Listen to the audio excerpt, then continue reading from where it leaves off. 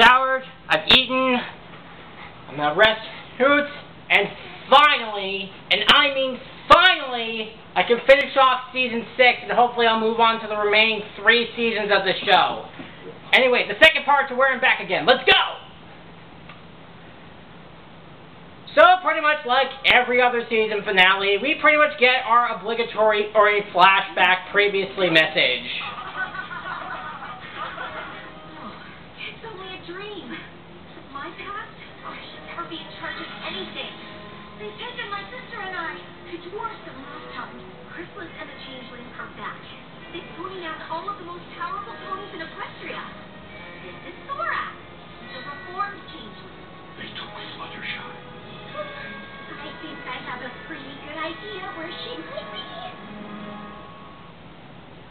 So essentially we, we picked up where the last part ended as basically we try to figure out why exactly our MLP version of Suicide Squad get, can't get closer closer to the Changeling hideout, even though they, they have Discord on their side. We're here, and that's there, and I clearly meant for us to be there and not here. Oh, I can probably explain. Oh, well, if at first we don't succeed. Maybe we should come up with a plan first? Oh, what? You know, figuring out the best way to do something before you actually do it. oh, that's adorable. But you see, unlike you, I can do anything.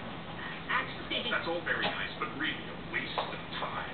We have me, and what else could we possibly need?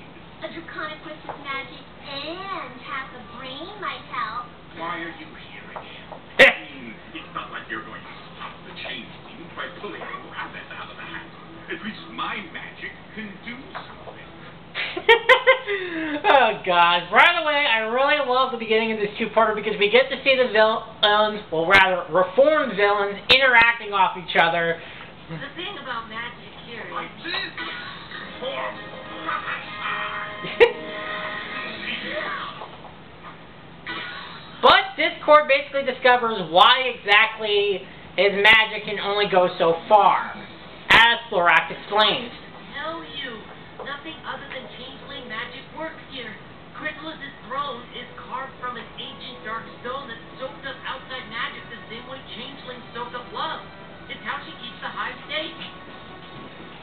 So, yeah, so basically Chrysalis did think this out for her kingdom in that essentially she carved carved her own throne out of a dark stone to basically absorb any outside magic and only changeling magic is effective.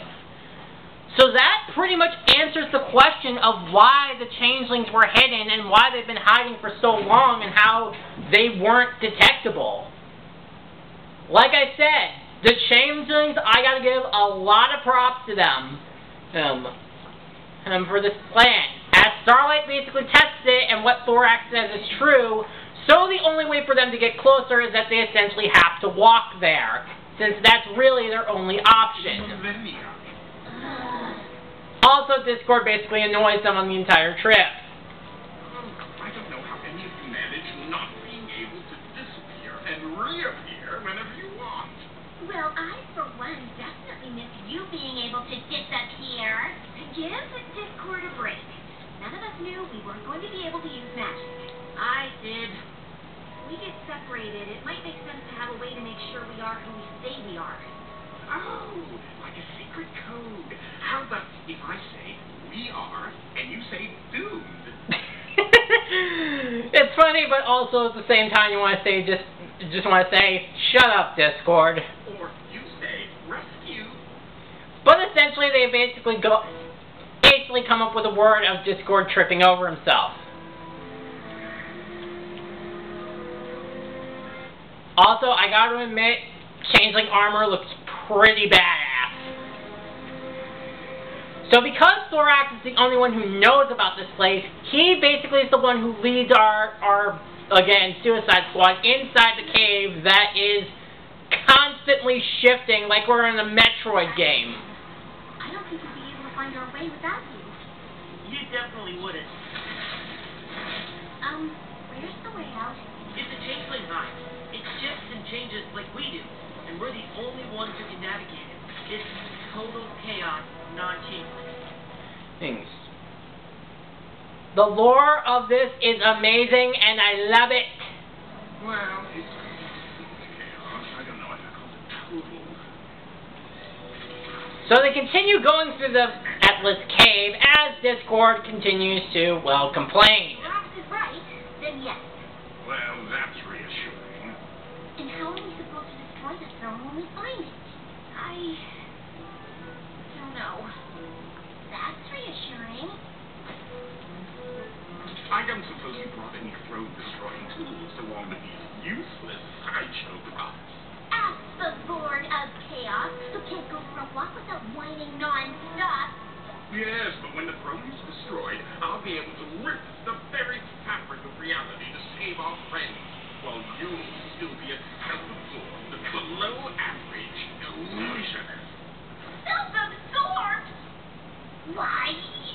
Can this marriage be saved? Cut it out! I'm just barely keeping it together, and it would be wonderful if you two could actually try to help instead of bickering like fools. Okay. How can we help? Don't ask me. I couldn't even handle giving advice at the Sunset Festival, and I had magic then, and the three of us were going to be useless. At least Thorax knows where we're going. Um, guys? I think we're lost. Oh, Well, we're screwed. we might as well just sit here and wait for the changelings to soak up all of our love, or whatever gross thing it is that they do. How often do you all get hungry? Actually, I haven't been since I met Spike. And Well, that's good to know. But essentially, Discord, well, after some rather cute moments of development for Thorax, uh, essentially Discord's blabbermouth essentially attracts the changelings. Things. So while Thorax is having a hyperventilation attack, This seems like one of those moments where we need a plan. What kind of plan? We have no magic, and it's not like my illusions are gonna save us. Do you have any of your smoke bombs? Are you kidding? But essentially Trixie utilizes her magic, or rather, her smoke bombs to distract the changelings. Again, like I said in the last part, considering that Kathleen Barr voices both Chrysalis and Trixie, it's kind of like the Trixie is basically trolling the Changelings as, as their leader. So that's pretty impressive and funny at the same time.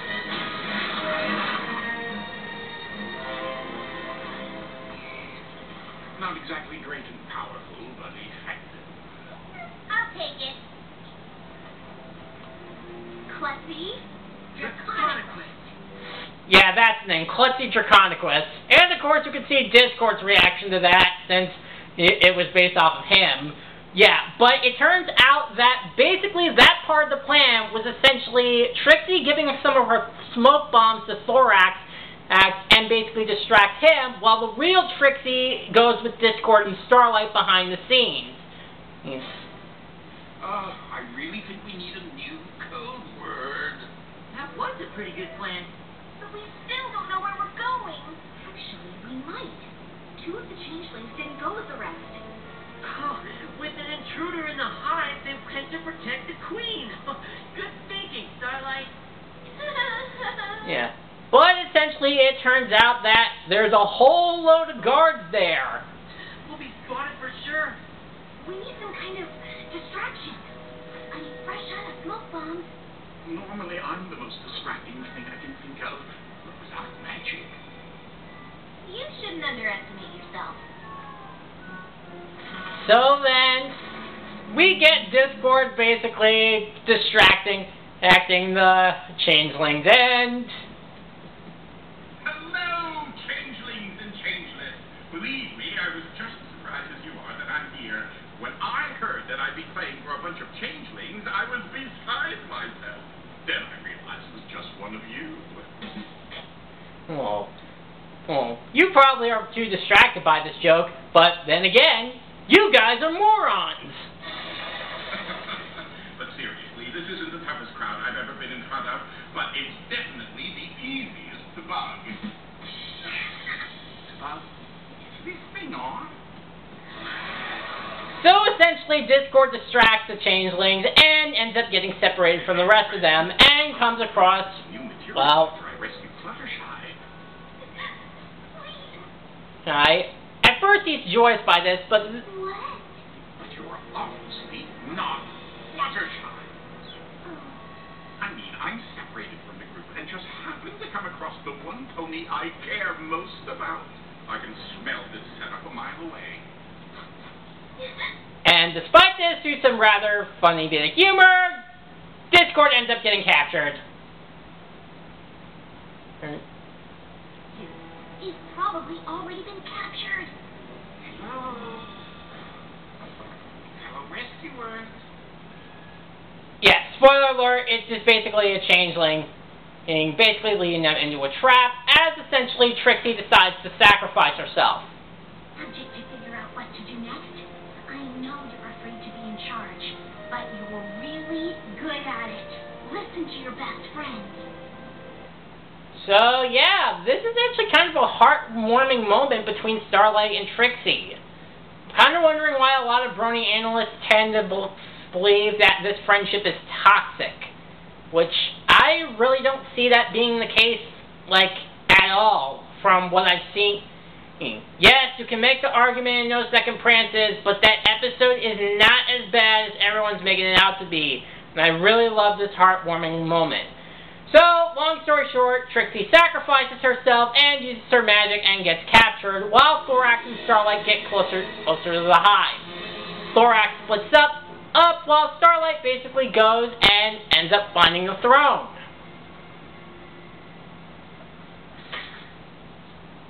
And also finds this.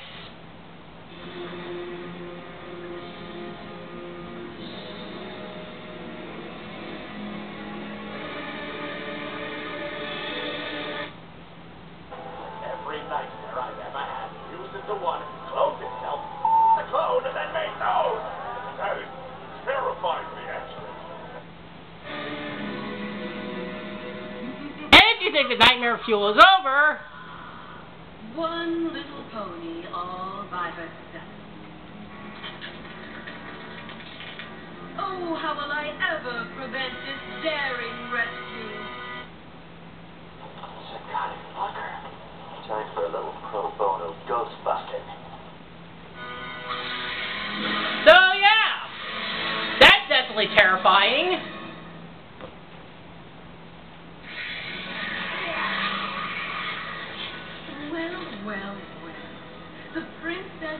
Friendship. So cute. Honestly, I didn't think you were worth replacing with one of my drones. Was that because you forgot about her, or did you really just not think these contingency plans through? You won't get away with this. I already have. No pony is coming to save you. Your little squad was it, and now it's just you. Thorax is still out there. Don't mention that traitor's name in my kingdom. He was a fool to me, and even more a fool to return. So, if you knew that he left, then why exactly did you not chase him down? Did you think he was not worth it? If that's the case, then that really is a stupid move on your part. Alright.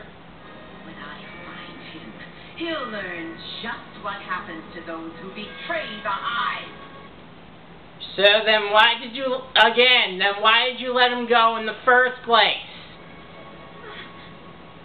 And it seems I don't have far to look, do I? Huh? Wow. Gotta give Starlight this. She is really good on the contingency plans. And so yeah, it turns out the Starlight that was captured was actually Thorax the whole time.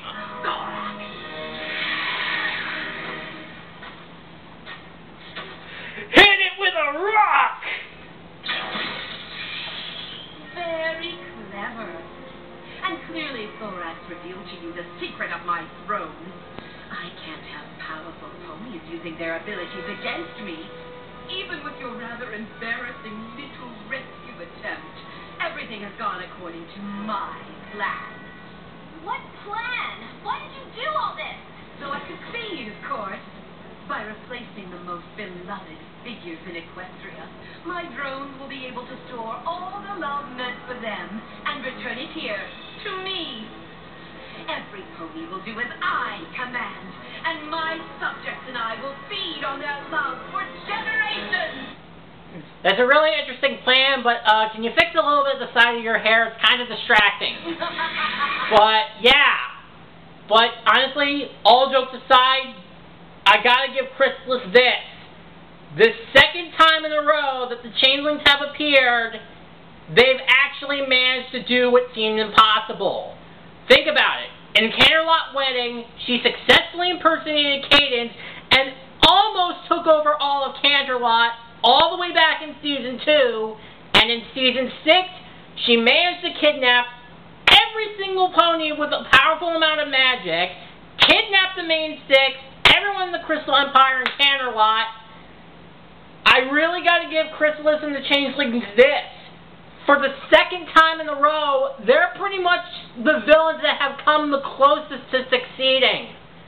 In terms of pure power, Tirek is still the best, but when it comes to actual success and planning, Chrysalis is the best, without a doubt. But then Starlight notices the new wings were formed on new the new wings on Thorax, and essentially, essentially he does the impossible. Well, as she tries to steal the love from from Thorax, as Starlight basically explains why. Chris and Thorax does just that.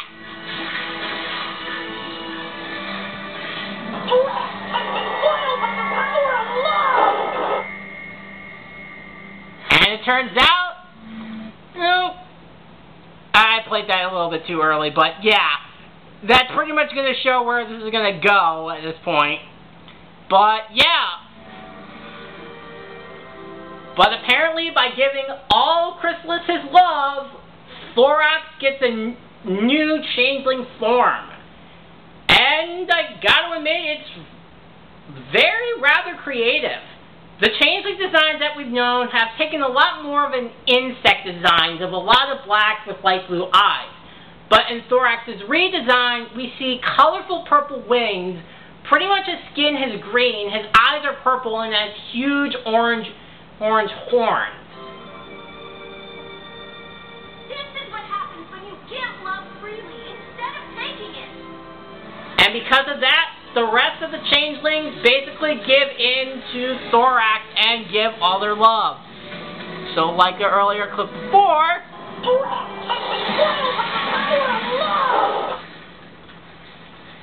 and of course everybody is free. And we see the changelings rather innocent and, and more heartwarming designs.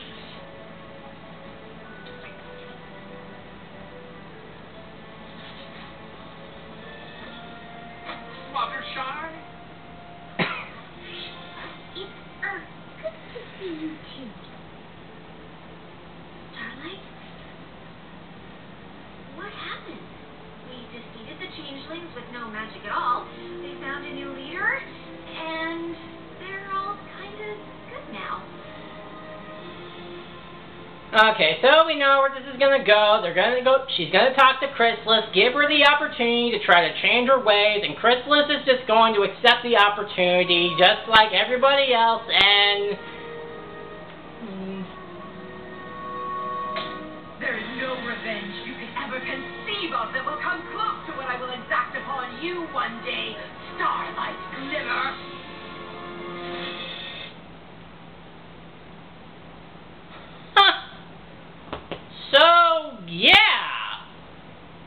So season six basically essentially broke the formula, where you would think a reformed villain would take that opportunity, but no. Chrysalis actually is sticking with her revenge and wants to get her revenge on Starlight, and she gets away. And you would think this would be right at the moment where the heroes would finally decide to shoot her down, since at this point she has no subjects, She has no kingdom. She has no magic. She's lost all authority over her kingdom. You would think now might be the best time to finish her off. But no, they just let her go for no reason whatsoever. I look forward to discussing how we can improve our relationship in the future. However, for the moment, perhaps it is best that we leave the Changeling Kingdom to the Changelings. Idea! Now who's ready for some celebratory tea? Fluttershy! I would be interested if I can't get over the fact that you let the big bad, who obviously is back for revenge, going to come back, just let her go when she has no power whatsoever. Alright, so because of this existential journey, Starlight basically owns up to these and returns to her old village to basically be a part of, well, the celebration.